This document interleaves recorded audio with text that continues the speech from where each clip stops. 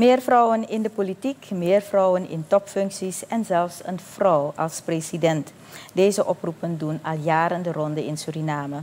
In verband met de Internationale Dag van de Vrouw, morgen 8 maart, vragen wij aan luitenant-kolonel in het Nationaal Leger Daniela Feira of deze oproepen gegrond zijn. Feira zegt dat we meer vrouwen zien in het parlement en in functies. De vraag die dan gesteld moet worden is, wat is hun invloed? Wat kunnen zij allemaal betekenen? Um, willen wij gewoon poppetjes plaatsen omdat men zegt van zet meer vrouwen. Dan zetten we vrouwen bijvoorbeeld op een lijst, uh, een, een, een, verkiezingslijst, we zetten vrouwen in functies. Maar wanneer ze, hun input is laag, willen we dat. Dus um, het vraagt wel dat uh, overheden um, correct bezig zullen zijn. Je ziet dat een heleboel vrouwen gaan en eigenlijk zijn ze zijn ze de mannen vooruitgestreven. Uh, als je dus nu kijkt naar uh, de universiteit, hoger onderwijs.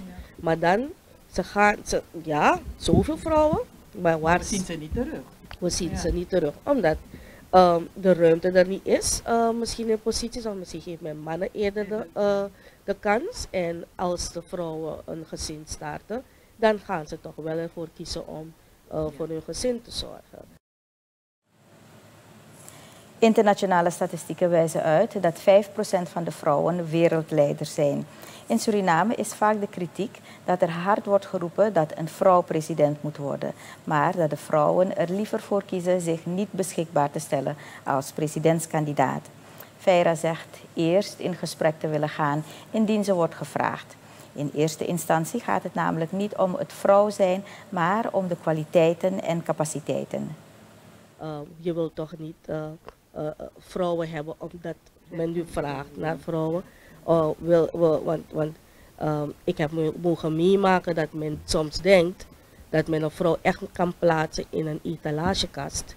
Um, uh, gewoon als een etalagepop en die staat maar als die printje die men wil laten zien. Maar om de persoon heen bepalen de mannen of de, de, de, de, de, de mensen met het geld wat er moet gebeuren.